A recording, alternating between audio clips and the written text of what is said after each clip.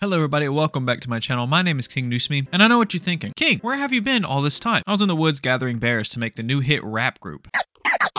And coincidentally, our movie has a similar premise. I'm talking about the one and only movie The Country Bears, made by Disney in 2002. Now, I vaguely remember this movie as a kid. I like saw it maybe on Disney Channel once or twice, but I remembered nothing about it besides Big Bears. And Big Al. For some reason, I remembered Big Al. I don't know why. He's lodged in my brain for some reason, and he's adorable, and you're gonna love him. I'm chubby, but I'm quick.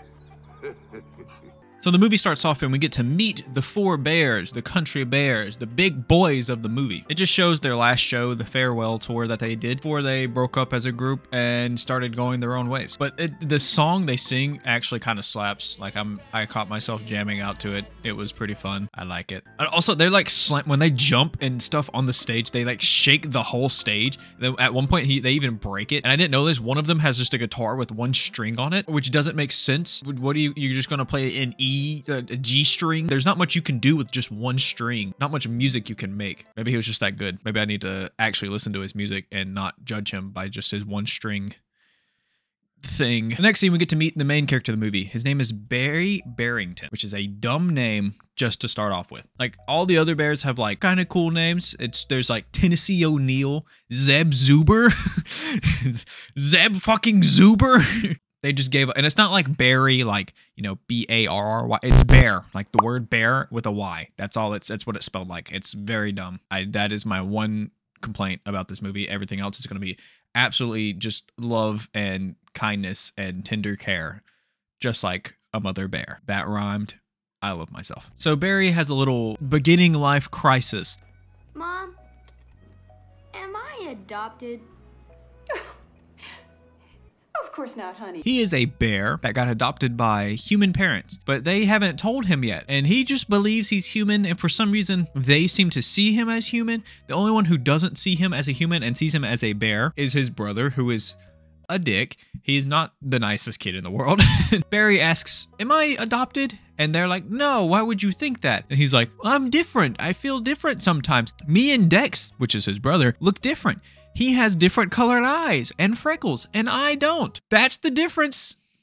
That's it. There's no nothing else is different. That that's the only two things that are wrong about him. But the dad and mom obviously, they obviously know he is a bear and they just they don't want him to feel like he is different. So they're being good parents, but the dad gives the worst analogy ever to make him try to feel better listen. Last week it was Casual Friday at the office, and I guess I forgot, and I wore a tie. and boy, did I feel different. It was, yeah. But I just don't understand. Like, well, how can you go?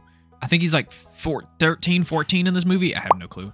I have to look it up. I don't want to look it up. I'm not going to look it up. I'm just going to spread misinformation online like a normal person. He's like 14 years old in this movie, and he, he's having this little crisis where he feels like he's adopted, which he is. And his parents are like trying to make him believe he's a human, but he knows deep down inside he's a bear. He has an obsession with the country bears because I guess they look like him and make him feel normal. I can't imagine just having like a bear son. That would be awesome, first of all, if I had like a talking bear son. I love bears, so I, I would be down to just adopt one. If you know a talking bear for adoption, let me know. So asshole brother, I mean, very nice and kind brother Dex. Can't say mean things on YouTube anymore. I forgot about it. Dex gets in trouble for, you know, making Beary feel like he doesn't belong in the family. So he gets mad and proves to Beary that he doesn't belong in the family by pulling out literal receipts. He pulls out his birth certificate. He's like, here's my birth certificate. Here's yours. And Beary's was an, a shock collar from being a bear where they would jock him. And so he, he pretty much showed Beary that, yes, you're adopted. You don't belong here. You need to leave. And so Beary decides to do just that. He's going to go find the country bears and become who he's supposed to be. Be with who he's supposed to be with. I do want to point out, Beary is probably the most adorable thing ever. Like, just look at him walk down this driveway. D look at him and tell me he is not just the, the most adorable character. He's in the top 10 most adorable characters that I've ever seen. I, I love him. He has my whole heart, and no one will ever touch him. Or you will have to go through the wrath of me. Get him run away. It's so cute. Why is he so cute? So apparently in this world they live in, bears are like intermingled with humans, apparently, because there's just a mailman who was a bear. There's a bear on a tractor. Like I know the group broke up, but like I thought that they were the only ones. I thought maybe Beary was the only one as well. So is this like a world where bears are just super smart and like evolved with humans to like be like humans? Because that would be sick. Should probably explain what's going on. Beary's gonna go to the Country Bear Hall, which was a place made for people who felt different and also wanted to learn music. So Beary ran away, left a note for his mother and family, telling them that he's going to find his destiny. So Beary makes it to Country Bear Hall, and just in time to meet the asshole villain, I guess, of the movie. Reed Thimple, Christopher Walken's character. Now, Reed Thimple is a banker who took over the bank that the Country Bears used to fund the hall and they're a little behind on their payments. Six years behind. And Reed does not um like that. He wants his money now. So in four days, he's going to tear down Country Bear Hall and put something else there. And Reed's just an asshole after Beary gives them 25 cents to enter the hall. And then Reed's like, good luck on that, kid. Fucking makes me want to punch him in the throat. The last country bear to be at Country Bear Hall is Henry Taylor, and he's showing Beary around the now abandoned Country Bear Hall. It's full of cobwebs and kind of dirty, and nobody's been in there for years. And he talks about how people like Jimi Hendrix used to play in the Country Bear Hall, how they used to be this big phenomenon, and now nobody really cares about country music anymore. I wish country music would die, except for this kind of country music. The music in this movie is amazing. If country music sounded like this and not, I grab my beer and I drive my truck and then I take my little girl and get her some ducks. I don't know. While Henry was showing Beary around, he was talking about how they can't really save the place anymore. No one cares about the Country Bears. And Beary's like, let's just throw a concert. Let's get the band back together. It's one of those movies. We're going to get the band back together. And Henry's like, no, that's a stupid idea. Nobody wants to watch the Country Bears anymore. And if you think about it, if the Country Bears were that big of a phenomenon back then, people would definitely want to see the Country Bears again. Like, if the Beatles were still alive, I'm sure they'd still be making concerts and kicking it if they were that big, like big enough to where people like Jimi Hendrix would come and play in their their own like concert hall. Like, people know who they are still. I, I guarantee it. But Henry blows him off and's like, no, it's a stupid idea, and then talks to Big Al about it. Big Al does his Big Al thing and fixes everything in very few words. Get the band back together. Tom. You could do that. a, a concert. Yeah, you need equipment and tickets and promotion and everything. I don't know. I could do that. I fucking I fucking love Big Al. Big Al is Big Al is someone we need to protect. Someone that needs a barrier around him at all times so he will never die. We need Big Al in every single movie ever from now on, just to be in the background and just to know we can do that. Like Two officers come to investigate the disappearance of good old Beary, and they have an awesome name together. It's Ham and Cheats. Hammond cheats. Yeah, we get that all the time. funny funny joke made me kind of chuckle a little bit they're getting information on beary and so sh first of all they're like what's his name she's like his name is beary and so he starts b-e-r she's like no no b-e-a-r Like in the German spelling of the name. and that's what i was laughing at my mental state is deteriorating the more i'm watching this movie it the even the old 2002 bad jokes are making me laugh.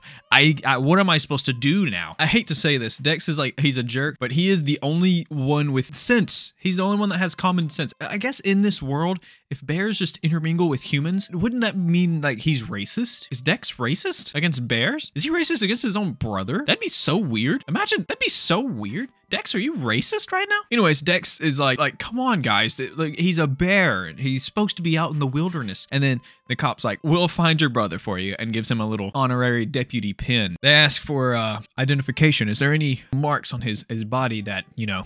We can tell a difference and like identify him by. The, the parents are like, oh, no, really, no, not at all. no, I don't.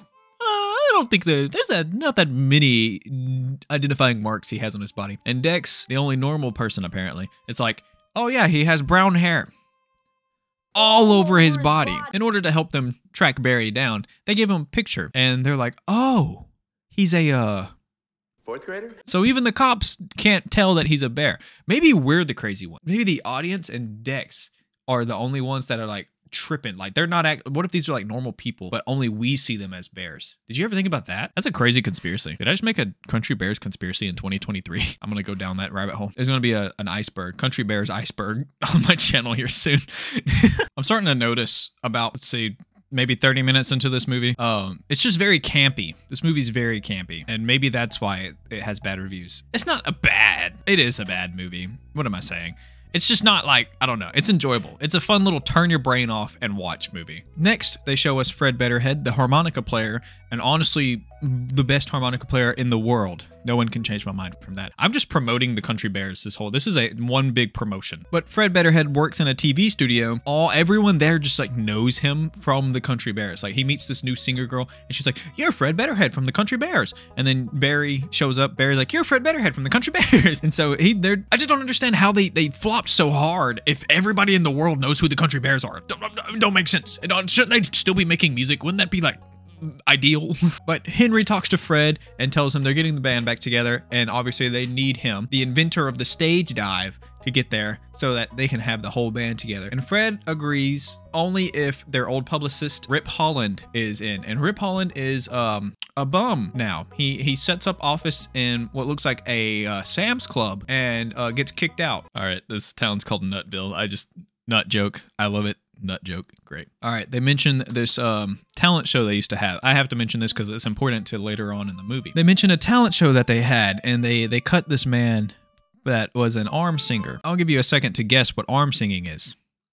It's farting. It, it's the armpit fart. He was an armpit farter professionally, and um, he didn't make it far. That's all I'm gonna say. If you want to learn more, you gotta watch the rest of the video. What can I tell you? You gotta watch the rest of the video, eh? Big Al has the same like three jokes this whole movie, and I am completely okay with it. What's that? A sign. Oh, and be careful of mine. Grass. What's that? That there's a sign. Didn't want anyone parking on my grass out front. What is that? That's a sign. I'm a Big Al stan, that's for sure. I need a shirt that has Big Al on it. Big Al accidentally um, spills the beans to good old banker boy. The banker does not like that they're getting the band back together, so now he's going to do everything in his power to not let that happen. The next bear they're going to pick up is Zeb Zuberman, who is now an alcoholic and hangs out in a in one bar with Queen Latifah as the bartender. We need more Queen Latifah. I need more Queen Latifah in my life. Let me know if any good, bad Queen Latifah movies, if there is any ever. I feel like every movie she's in, she just kills the role. I forgot to mention Zeb Zuberman is the fiddle player. That's something that you probably should know. I found something that's a little um, alarming to me. Uh, they let Beary into the bar, like 14 year old kid Beary into a bar. Granted, it's honey. They're only selling honey. Like if you look in the background, it's all honey. So wait, does honey get bears drunk? Is that a thing? Bear got drunk on honey after a brown bear in Turkey seems to have gotten their paws on some mad honey. The cub was in for a surprise. It was believed to have become intoxicated following consumption of an excessive amount of product. Bears can get drunk. That's fucking sick, bro.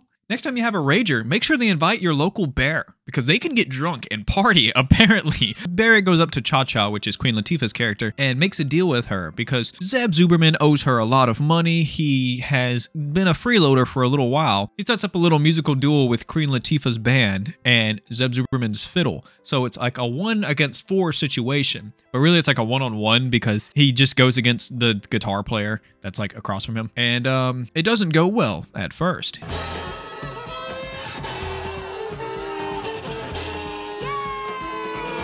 He has to warm up a little bit. But then he shreds the fuck out of that fiddle. So cool. I would love to learn how to play the fiddle. I feel like that'd be like really fun. Or like a banjo. Imagine me just like in middle of videos, just like ding ding ding ding ding ding, and like that. Wouldn't that be so cool? Anyways, if um if Zeb Zuberman wins, all his debt is forgiven and he can go on his way. And if he loses, um Queen Latifah gets the bear bus. The whole bus, the whole mildewy bus is all hers. So um high stakes, I would say. Yeah, high stakes. Needless to say, Zeb wins, of course, because that's how movies work. The cops pull up to Country Bear Hall and they talk to Big Al for a second, complimenting his grass, which he needed. They ask him have he seen Beary, and Big Al gives the best answer ever. That's all they really needed. And he also tells them that Henry took Beary on the tour bus. And so they just rule it as a kidnapping automatically. Now they believe that the country bears have now kidnapped a younger bear and are on the road on the run. So that's fun. Next up on the list to go get is Tennessee O'Neill. Apparently, Tennessee O'Neill and his lover, Trixie, broke up a long time ago. He was so heartbroken that he decided to get himself a job to make him feel better.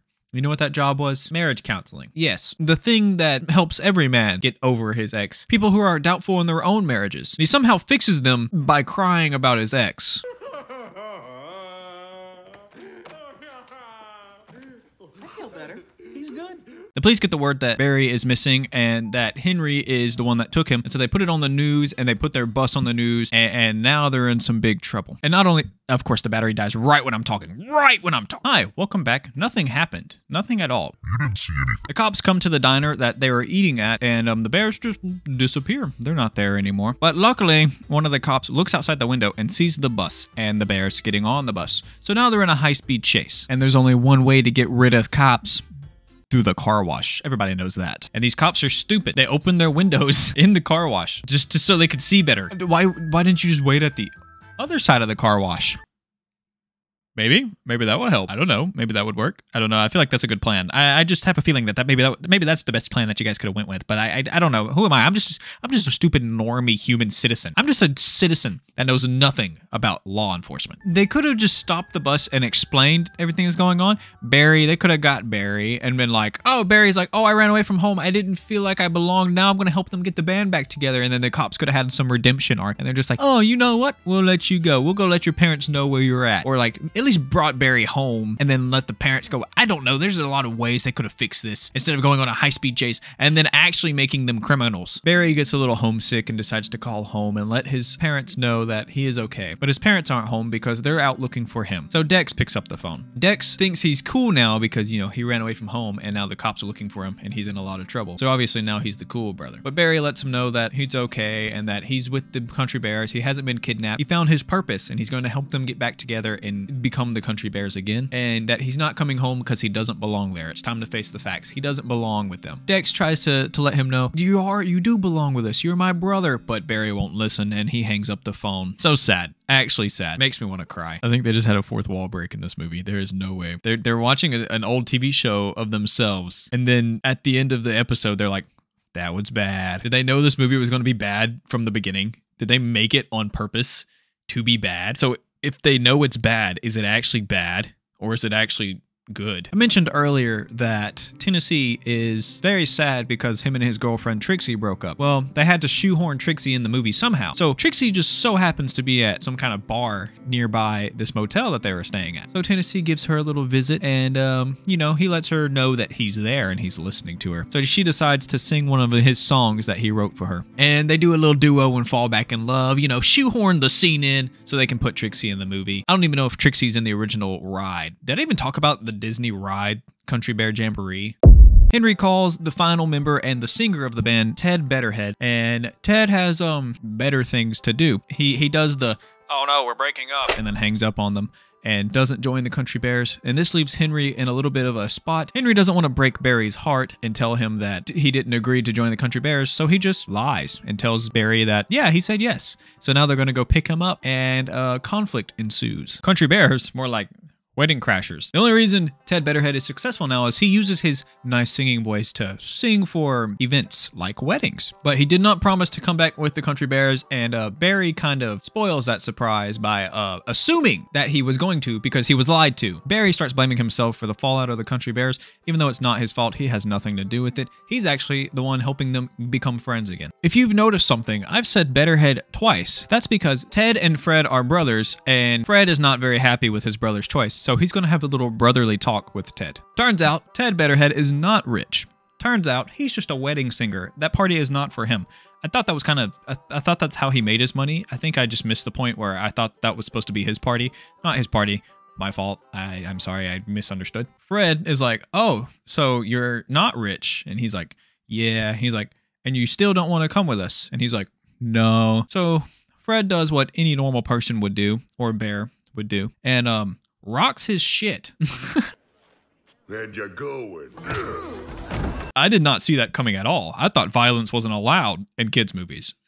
Apparently, violence is the answer sometimes. So, ever since Ted joins, he's been a little sourpuss. He tells Rhodey to stop the bus, which is their bus driver. I don't know if I've mentioned Rhodey yet, but tells Rhodey to stop the bus. And they all get out, go to like this random ass field, and they all start, he starts complaining about each and every single one of them. And Beary tries to, you know, talk him into it. And He says, like, he talks about how they're a family. And then Ted's like, we're not actually family. You weren't there. And then he was like, I know, but your family uh, are people who love you no matter what. When one of them asks, Who told you that? And he says, My dad. Then he realizes his dad loved him all along. He ran away for no reason. He had a loving family, minus his brother, who actually loves him now because he's been missing for a few days. so Beary literally runs home, like literally runs all the way home. I, he could be in like fucking Utah and his family could be in Wisconsin. He's running home right now. That's crazy. Beary makes it home and his dad is a little excited to see him. Hi, Dad. But everybody's happy to see Beary home. Even Dex, who gives him a big hug, is very heartwarming and I love it. He lets them know that he wasn't kidnapped, he ran away, you know, all that stuff, you know. Yeah, you figured it out. The Country Bears make up when they find one of Beary's notes. Apparently, he left his book on the bus, his scrapbook of the Country Bears, where he wrote a paper about his hero. But he said he doesn't have one hero, he has four heroes the Country Bears, and he couldn't imagine his life without them. Whenever he's sad, he plays a Country Bear song to make him feel better, and he's always sad because his brother bullies him so much. This pulls at the heartstrings a little bit, and I, they decide to come together and be a team again. Good old Ted Barrington. What is his name? Bedderhead. I always the bees. It's so much bees. All the bees in this movie. Ted Bedderhead pulls up to his house and gives him a little love talk. Ted lets Beary know that he's been holding back ang- or he's been holding anger for the Country Bears for some time now, and he doesn't know why. But Beary's note about the Country Bears opened his eyes to see that they are better as a team. Then Beary asks if they're going to do the show now, and Ted's like, "No, we can't do the show. Not without you." Now Beary is an honorary Country Bear, and he comes with them, and they're going to do the show. The town hall is saved. Maybe. While Beary and Ted were going back down to the bus to do the show, Rhodey lets them know that the bus was stolen by Thimple. Thimple now is gone full bad guy, has like a, a bullet sash and a gun, and is holding the Country Bears at hostage. But luckily, Beary left his stuff on the bus, and with that stuff, he left his old collar that I called a shot collar, but it was actually a track collar. I lied to you. I'm a fucking liar. Now, with the tracking collar on the bus, they can track the bus to this warehouse that they're in so that the Country Bears can do their show. So, as the family and Ted are going to go save the Country Bears, we learn that Thimple was actually been planning to take down the Country Bears for 30 years now. Want to know why? Thimple was the boy, the one boy, the one and only arm singer.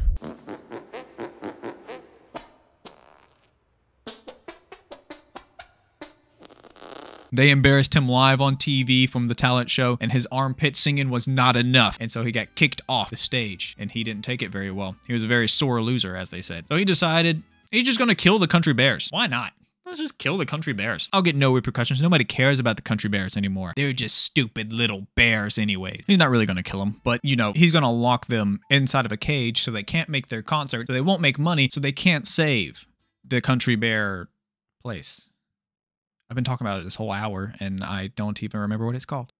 Country Bear Hall. So Ted couldn't fit inside the car for the car chase, so they hooked the boat up to the car and just drug the boat with him with Ted in the boat. I don't know why. But luckily for that happening, whenever they tried to save them, they hit like a patch of dirt and that sent the boat flying through the sky, flying through the window and barely, just barely tapping the door, knocking it down. So if I'm thinking correctly, um, bears are pretty strong. So couldn't one of them just like pulled on the door and taken it off the hinges because the boat just barely tapped it, like just a little tap. And it knocked it off completely. Anyways, the Country Bears are saved, and now they can make it to their show. Country Bears pull up to Country Bear Hall, ready to see a big crowd, and everybody there excited to see them. But um, Nobody's there. Mysteriously, suspiciously, nobody's there. So they go inside to see Thimple and Rip making a small exchange. Turns out Rip was supposed to promote the show, but got paid off by the bank, and so he didn't. So no one showed up. So Thimple gives a little monologue talking about the Country Bears are over, they're dead, no one cares about the Country Bears no more. But Big Al, Oh, Big Al saves the day. Big Al's like, wait, aren't you guys doing the show tonight? And they're like, yeah, but nobody showed up. And he was like, what are you talking about? Flip the switch, lights come on, doors open up, big crowd of people, boom, Country Bears are saved, Country Bear Hall is saved, happily ever after. It's also quite a big crowd of people. I don't know how they hid that many people from the Country Bears for that long. At least, like, you, you'd think they'd hear them, like, talking outside or, like, see them behind the barn, maybe. like, did they just not look back there? Like, how do you miss, like, this big of a crowd of people? It's crazy. Not only did they save Country Bear Hall and make enough money, but they let Beary be part of the Country Bears. He now plays guitar for the Country Bears, and that is just so sweet. Also, you'd think they'd have like a bigger bear fan base because you know they are bears, but I only see a few in the crowd, like maybe three or four in the crowd, which I they probably were just expensive puppets, so I understand that that part. But you know, I'm sure CGI was around about the time. I bet you it wasn't as good as it is now, though. I didn't think about that. But yeah, that was the Country Bears. It's a pretty goofy movie, nightmare fuel in some parts, when mainly when they like smile and stuff. But yeah, honestly, out of ten. I give it like a six. It's not that bad, but it's not good. I had a lot of fun just sitting down and watching it. It's a really goofy movie. Some bad jokes. It's obviously made for kids. There's a few adult jokes thrown in there just for fun. Check it out on your own. It's on Disney Plus for free, or you can rent it on YouTube, I think, if you're that interested in it. Thank you for watching the video. I'm finally back. I'll try to be posting more regularly. If you have any movie suggestions, let me know in the comments down below. Make sure you hit the subscribe button, or I'll send my baby bear cub rap group out to attack you. But yeah, thanks for watching the video. Love you. Peace.